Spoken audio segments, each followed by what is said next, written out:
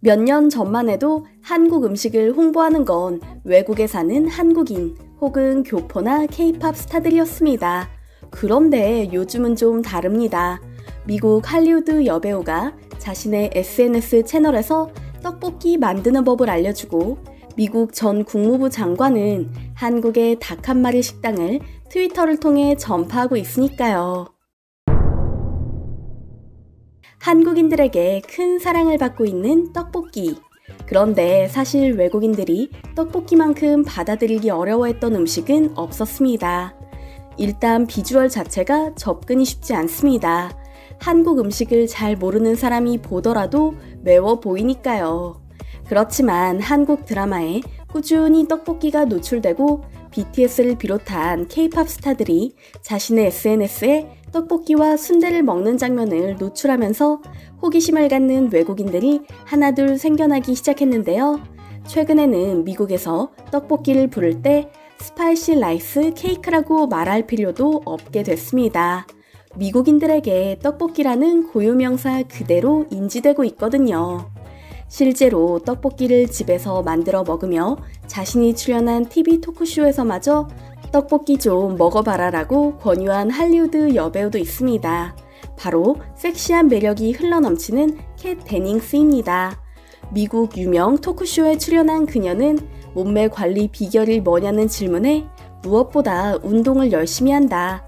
그리고 매운 음식을 좋아하는데 요즘 푹 빠진 음식이 있다. 바로 한국의 떡볶이다.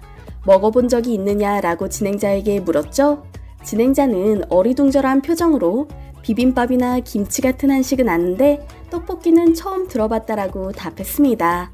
그러자 캣 데닝스는 말랑말랑한 떡과 고추장이라는 소스를 활용한 매운 음식인데 미치게 맛있다. 이틀에 한 번 만들어 먹을 정도다. 라고 밝히며 유별난 떡볶이 사랑을 선언했거든요. 캣 데닝스는 자신의 SNS에 떡볶이를 만드는 과정을 올리기도 했습니다. 영상을 보면 초반부터 떡볶이라고 명칭을 제대로 적어 놓은 걸 볼 수 있는데요. 숨은 한식 팬이 여기 있었구나 싶습니다. 캣 데닝스뿐만이 아닙니다. 오래전부터 한국을 향한 각별한 애정을 드러내고 있는 드류 베리모어는 매운 음식을 좋아하는 거로 유명한데요. 라면을 좋아한다는 발언에 기자가 일본 라면을 좋아합니까? 라고 묻자 아니요, 전 한국 라면만 먹어요. 짜릿한 매운맛의 라면인데 일본 라면과 비교할 수 없을 정도로 중독성이 있어요 라고 답한 이력마저 있죠. 매운 음식을 좋아하는 스타답게 가장 좋아하는 음식도 떡볶이와 비빔밥이라고 하는데요. 제시카 알바 또한 광장시장을 비롯한 재래시장을 돌아다니며 떡볶이와 김밥을 사먹는 모습을 보였죠. 이쯤 되면 할리우드 미녀는 떡볶이를 좋아해라는 새로운 가설을 만들어야 하는 게 아닌가 싶을 정도입니다. 실제로 미국과 유럽, 동남아에 떡볶이 전문점이 속속 들어서고 있는데요. 대형 마트에 가면 떡볶이를 만들어 먹을 수 있는 밀키트까지 판매되고 있습니다. 특히 가정에서 스스로 만들어 먹는 걸 좋아하는 서양인 특성상 이런 밀키트는 떡볶이 초심자에게 딱이라고 하는데요. 한번 떡볶이의 맛을 들인 외국인들은 여러 떡볶이 레시피를 섭렵하며 한국인보다 더한 떡볶이 장인으로 거듭나게 된다고 합니다. 그도 그럴 것이 떡볶이는 중독될 수밖에 없는 맛이니까요. 구독자가 천만 명에 가까운 한 외국인 유튜버는 아예 직접 떡을 만들어 본격적인 떡볶이 장인 반열에 오르기까지 합니다. 미국인이 떡을 만드는 것도 대단하다 싶은데 멸치에 새우, 무까지 넣은 육수를 우려내 떡볶이 국물 베이스를 만드는 등 영상을 볼수록 이 사람은 떡볶이의 진심이구나 하는 생각이 드는데요. 그는 고춧가루와 고추장이라는 한국 재료 명칭까지 정확하게 한국어로 발음합니다. 사실 저렇게까지 안 하더라도 떡볶이는 맛있다라고 외치고 싶지만 그의 조리법은 실제로 정석에 가까워 놀라웠는데요. 댓글도 재밌습니다. 한국인들도 간혹 보이긴 하지만 아마도 한국 거주나 여행한 경험이 있는 것 같은 외국인들이 떡볶이에 대한 수다를 늘어났거든요. 어묵, 삶은 달걀, 양파를 추가해도 좋아. 한국에서는 그렇게 많이 먹거든. 팬에 튀기는 것 자체가 대단해. 꼭 만들어 먹을 거야. 한국 사람이라도 떡을 만들진 않을 거야. 대단하다. 멸치 육수 정도는 만들 수 있지.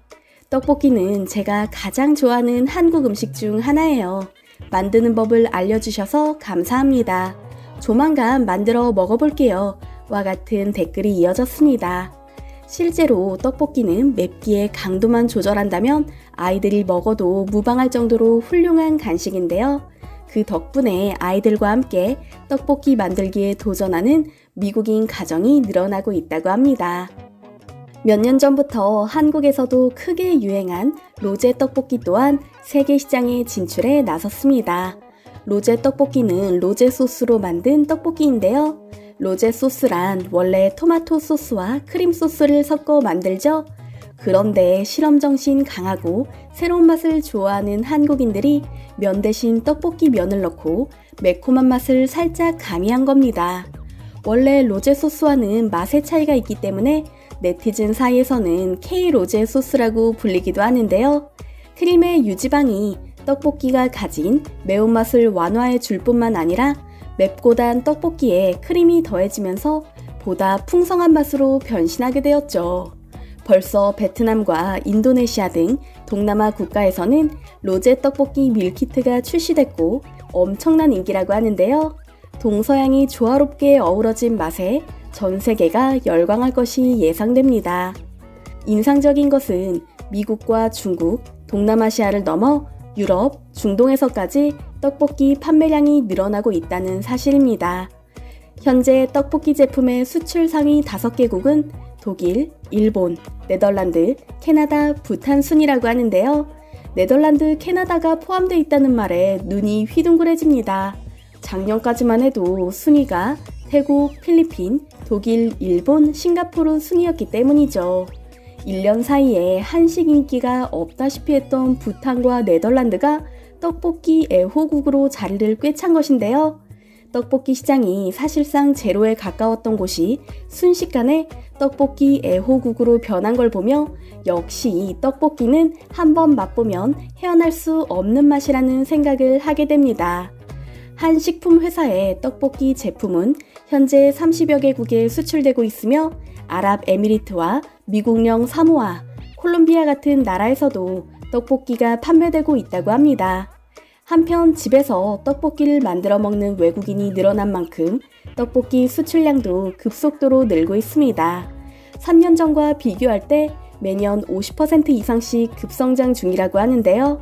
간장, 짜장, 까르보나라 떡볶이 등 이색적인 맛도 외국인들은 거리낌 없이 즐긴다고 합니다. 원래 떡볶이는 궁중과 사대부 집에서 만들어 먹던 고급 음식이었다고 하죠. 19세기 말 편찬된 요리책 시의 전설을 보면 조선시대의 떡볶이는 간장 양념에 재운 소고기를 떡, 채소, 표고버섯 등 같이 볶아서 먹는 고급 궁중 음식이었다고 하는데요. 우리가 즐겨 먹는 매운 떡볶이는 1953년 마복림 씨가 고추장처럼 칼칼한 양념이 들어가면 더 맛있겠다고 생각해 만든 것이라고 합니다.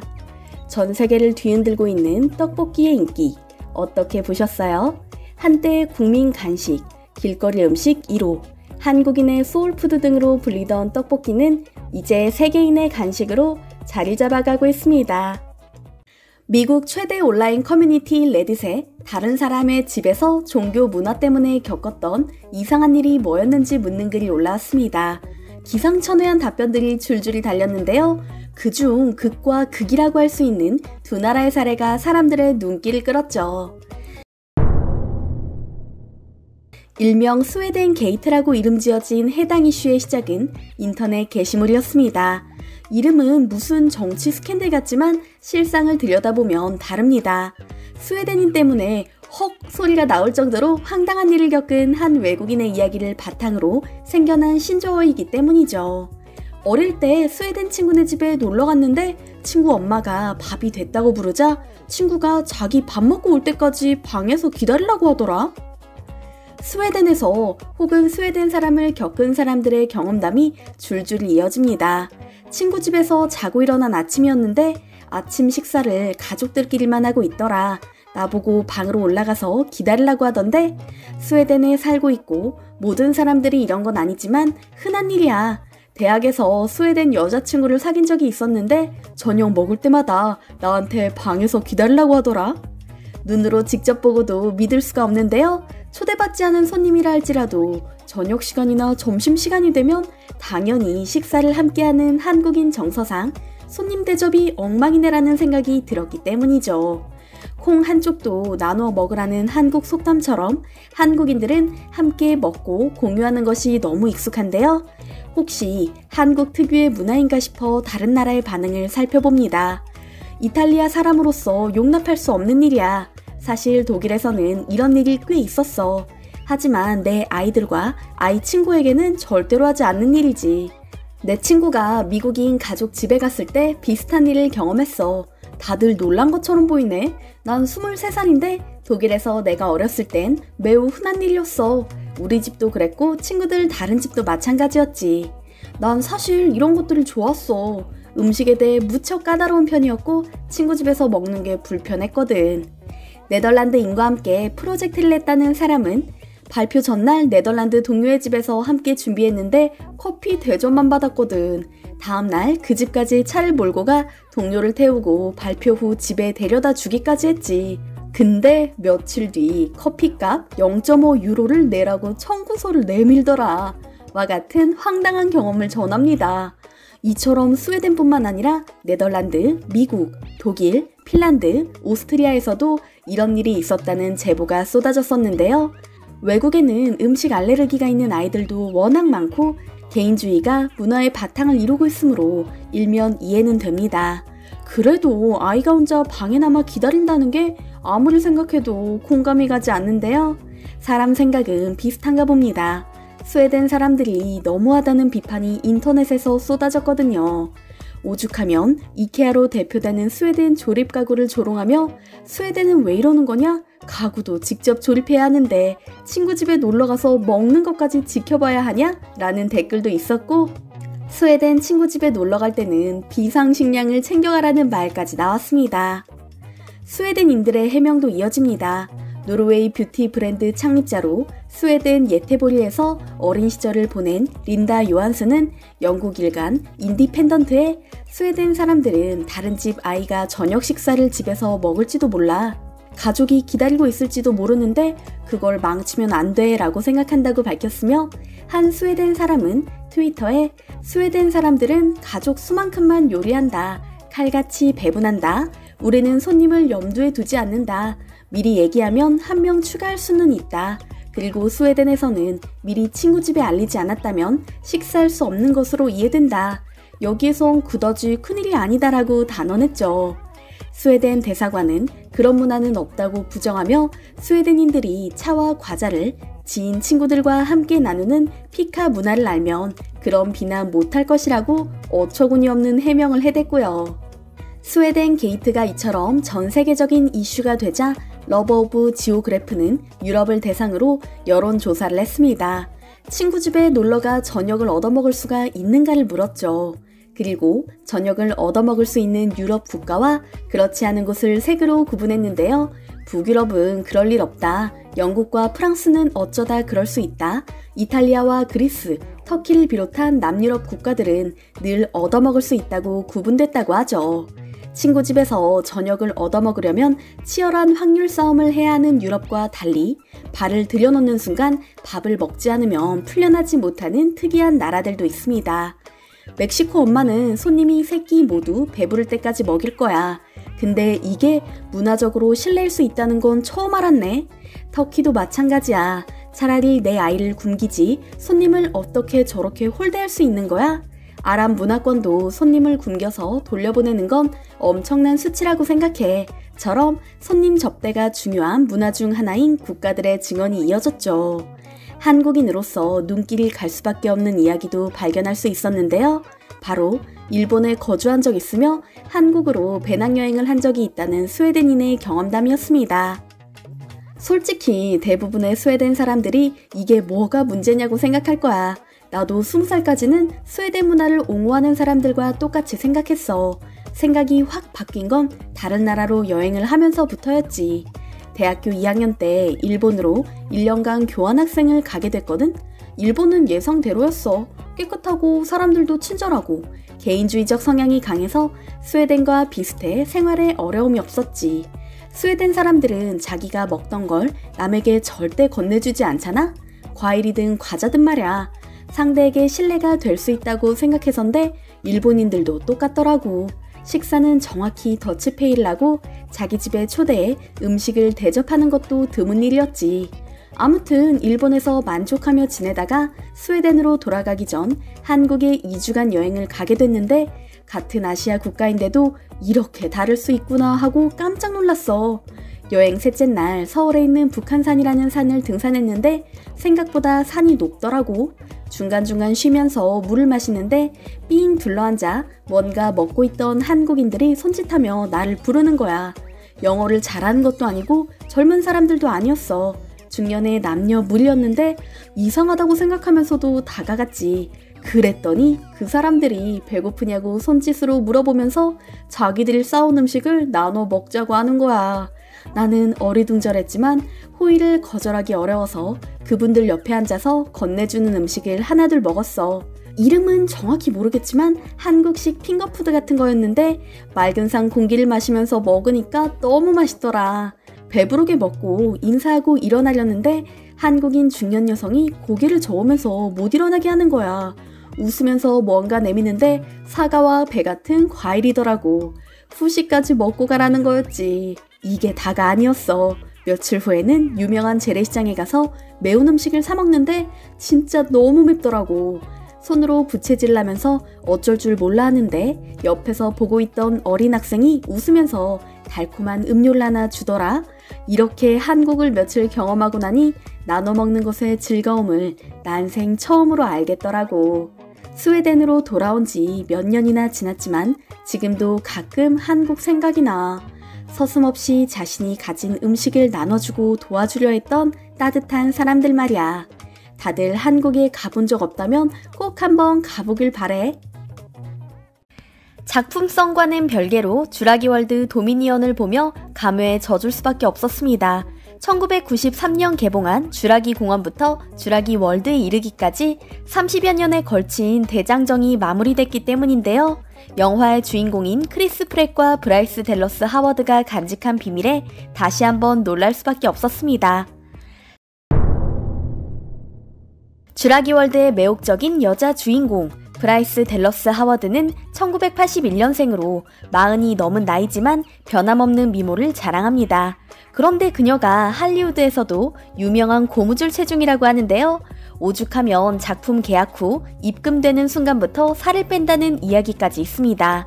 사실 이렇게 예쁜 얼굴이라면 살 좀 쪄도 되지 않나 하는 생각이 들긴 합니다만 심할 때는 100kg 이상 나갔을 때가 있었다는 이야기에 놀랄 수밖에 없었는데요. 아시다시피 24시간 파파라치가 붙어 다닐 만큼 미국인들의 할리우드 유명 스타들에 대한 관심이 지대하기 때문입니다. 이번 영화도 마찬가지였습니다. 미국인들은 영화의 재미보다 이 영화에 출연하는 주인공들의 모습이 어떻게 변해 있을까를 더욱 궁금해했다고 하는데요. 특히 여주인공인 브라이스 델러스 하워드를 향한 관심은 엄청났습니다. 실제로 그녀가 두 자녀를 출산했을 때 파파라치에 찍힌 사진을 보면 고무줄 체중이라는 말이 실감이 납니다. 원래도 글래머러스한 몸매를 자랑하는 그녀이긴 하지만 이런 사진을 보고 나면 과연 원래 모습으로 돌아갈 수 있을까 싶을 정도인데요. 역시 연예인 걱정은 할 필요가 없나 봅니다. 영화 촬영이 시작되면 어김없이 늘씬한 몸매로 촬영장에 나타났거든요. 오죽하면 미국에서는 이런 농담까지 떠돌아 다녔습니다.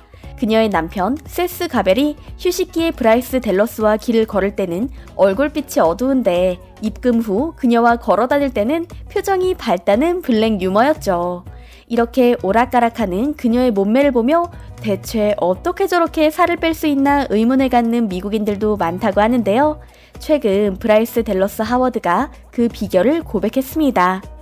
영화 홍보차 최근 미국의 한 토크쇼에 출연한 그녀에게 진행자가 조심스럽게 묻습니다.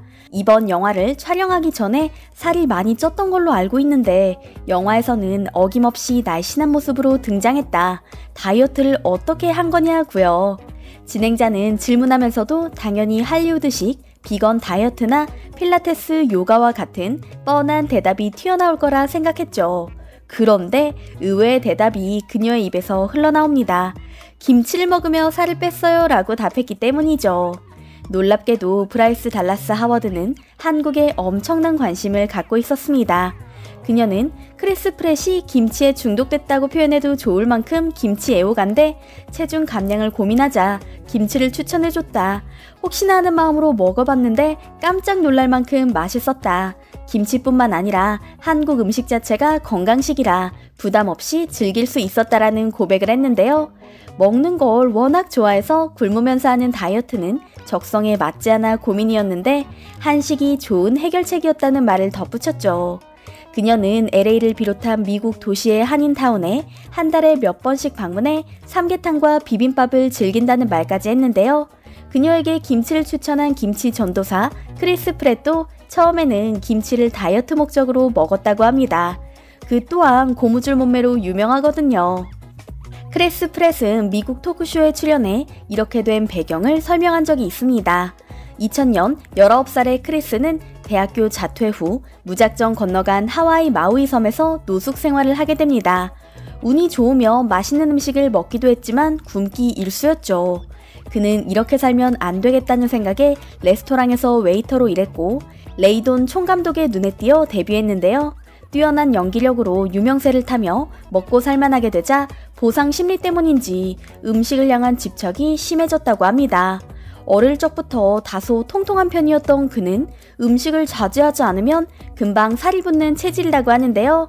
대중들은 살찐 그를 보고 싶어 하지 않았죠. 그 때문에 영화 촬영이 시작되기 전까지는 먹고 싶은 걸 잔뜩 먹으며 즐기다가 촬영 날짜가 잡히면 채소와 닭가슴살, 달걀 등 다이어트식만 먹으며 엄격한 식단 관리를 한다고 하는데요. 5에서 6kg 빼는 수준이 아닙니다. 27kg에서 30kg에 육박하는 체중 감량을 하기 때문이죠. 오죽하면 매일 아침에 날달걀만 먹으며 다이어트를 한 적도 있다고 합니다. 촬영 전까지 다이어트를 위해 먹은 달걀만 2천여 개. 이렇게 극단적인 다이어트만 하다가 도저히 안 되겠다 싶어 대체식을 찾다 김치를 맛본 건데요. 평소에 샐러드를 억지로 먹으며 채소는 맛없는 것이라는 인식을 갖고 있던 그의 선입견이 완전히 뒤집히고 맙니다. 김치를 처음 맛봤을 때 뱉은 말도 세상에 이런 샐러드가 있다니 였다고 하는데요. 김치를 샐러드로 표현하는 방식도 웃기지만 크리스 프랫의 김치 사랑에 왠지 모르게 어깨를 으쓱하게 됩니다. 한 방송에서는 크리스 프랫은 전 김치를 너무 좋아해서 탈입니다.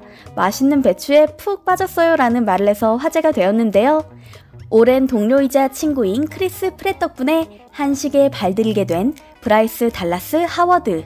그녀는 굶지 않고 건강하게 살을 빼는 게 실제로 가능하다는 사실에 깜짝 놀랍니다. 그리고 인터넷에서 한식 레시피를 하나둘 찾아서 만들어 먹으며 한식의 맛에 빠져들게 됐죠. 이번에는 극단적인 다이어트 방식으로 체중을 감량했던 전과 달리 천천히 건강을 돌보며 살을 뺐다고 하는데요. 미국 언론과의 인터뷰에서 요즘 어떤 음식을 자주 먹냐는 질문에 고기와 김치를 같이 먹어본 적 있느냐? 한국에는 쌈이라는 게 있는데 고기와 야채를 함께 먹는 거다. 이 방법을 터득한 후로 고기를 먹을 때마다 새로운 야채를 곁들이는 게 습관이 됐다고 밝혔죠. 김치와 한식 덕분에 건강을 되찾은 두 배우는 한국 언론과의 인터뷰에서 유달리 환한 얼굴로 한국과 관련된 에피소드를 늘어놓기도 했습니다. 한편 주라기 월드 도미니언이 전 세계 최초로 한국에서 개봉한 데에는 두 배우의 한국 사랑도 한몫했다는 평가입니다. 크리스 프랫은 기생충부터 오징어 게임까지 엄청난 한국 작품들을 보며 놀라움을 금치 못하고 있다. 언젠가 한국인들과 일할 날을 기대하고 있다고 밝혔으며 브라이스 달라스 하워드는 제 딸이 BTS 엄청나게 좋아한다. 심각할 정도로 사랑앓이하는 중이다 라고 말하며 활짝 웃었죠. 조만간 두 배우가 한국 영화에도 출연할 날이 오지 않을까 싶은데요. 실제로 최근 미국에서는 고추장과 한국 간장, 김치 등이 건강식으로 각광받고 있습니다. 외국인들은 특히 한식의 균형에 주목하는데요. 고기를 먹을 때도 항상 채소를 곁들이고 여러 반찬을 곁들여 식사해 영양소가 치우치지 않도록 한다는 점을 가장 큰 장점으로 꼽고 있습니다. 한식 조리법을 응용해서 다양한 채소를 먹으려 노력하고 있는 사람들도 많고요. 개인적으로 좋아하는 배우들이 한식 덕분에 건강을 되찾고 다이어트도 성공했다는 사실을 알고 나니 기분이 더욱 좋은데요. 앞으로도 멋진 모습을 화면에서 보길 바라며 오늘은 여기서 인사드리겠습니다.